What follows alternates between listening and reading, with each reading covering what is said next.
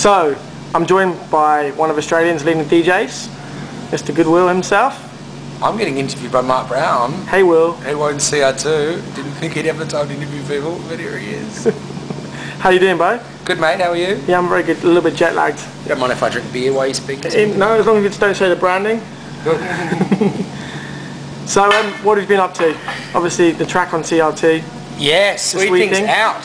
It Finally, sorry it took so long. it's okay, We're, we're a bit behind the Australians the way we work in the UK. I'll tell you what, I've been getting a lot of emails about people from overseas, like links to YouTube videos and stuff of them playing their CR2 release in clubs in Ibiza, and it's been going really well. It's big, big in Ibiza. We've been playing at Pacha all the time and stuff, apparently. So it's good. Um, went on tour with my singer Christy, who's the lead singer in my um, project called Tack Attack, and writing an, uh, an EP for UK people might have heard of Silverchair, but there's a guy from that band called Paul Mac, who's a really dear mate of mine. We're just writing an EP.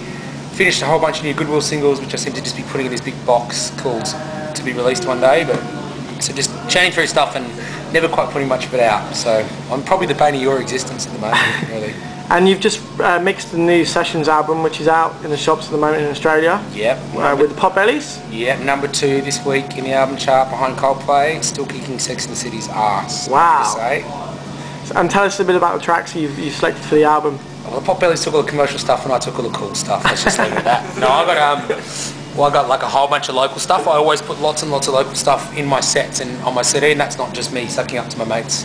It's genuinely because there's a lot of good stuff out there. So there's a lot, you know, Hook and Sling, Sam La More, Klaus Hill, all those guys are represented on the two CDs. So that's always what we do with the releases. And then there's all the bigger guys, you know, Axwell, John Dahlback, the Dons, uh, you know, Can't Copy, Calvin Harris, all that sort of stuff. So.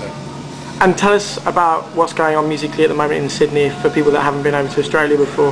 What can Um, people expect to hear in, in clubs? you can correct me. You know, we got onto the electro thing before the English people Um, so we've moved on a bit, and we've gone to like sort of, you know, it's it's become very European over here, to be honest, in terms of, um, you know, the guy, big guys like Dahlback and Axwell and uh, Dirty South. The sounds really big, and the minimal scene's sort of gotten a little bit bigger. There's a lot of hype about that out here that never quite, you know, went there. And Yeah. then now we've got this festival we love, do a festival out here every year, and that's sort of really starting to find a footing and, and there's a lot of minimal clubs, especially after hours clubs happening now and so it's good to see that all the scenes that you know profess to be big are now actually sort of scenes of their own as opposed to it being hype. So there's a lot going on but it's definitely more European than it ever has been. Are people playing techno in clubs over here? A little bit. Yeah. Chinese Laundry, Cave, there's techno. Upstairs the family in Brisbane and the Empire, there's techno. There's tons in Melbourne. The techno's coming back in a, in a big way. Um, whether or not the bigger house and electro DJs are playing much techno in their sets is, is another thing. I'm playing a bit of techno. I don't know who Hook and Sling is, but and Klaus is, but um, it's definitely segregated here. People don't really cross over their genres very much anymore. Yeah.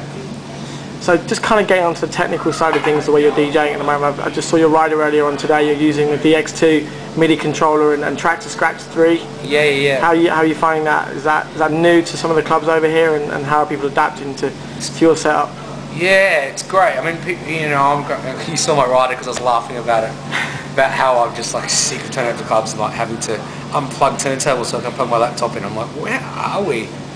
It's unbelievable. But um, it's really good. It was a learning curve, but now I really, really, really enjoy it. So um, you know, I do like the four deck thing on CDJs with the with um, well three three to four decks depending on what the club will permit, and then the DX2 doing looping and stuff. It's incredible. It's a great way to DJ, man. Yeah. It's the future for sure. Traktor is the future. Stops you burning CDs, which I like. Yeah, I think I just lost my Ableton endorsement, but that's okay. Maybe we can try and get it back now. I love Ableton too for writing music. Can't And- write music on Traktor yet. Alright. And um, and big records you're playing at the moment, and, and kind of tips that you can tell the kids about over in the UK, because we're obviously quite behind you guys. no. You know, what I'm just saying we got onto Electro earlier, that whole mashup thing was like, I went over to London to Erol Alkan's night, hi Erol, to Trash, and I was like, dude, we were doing like this, this like three years ago. Um, he'll laugh at that. Um, big records for me, uh, I really, really like, well, I mean, Anthony re- recommended him as well, John Dahlback. I think that guy's incredible. Yeah. No idea how, how he's finishing so many records. And obviously we're fiercely proud of Dirty South. Um, I just heard the record he did with Axwell today. That's fantastic. Yeah. Um, more underground stuff like the recorder stuff that's coming out. Um, since Sven Bat's doing some really good stuff. I've got two of his new things that are great.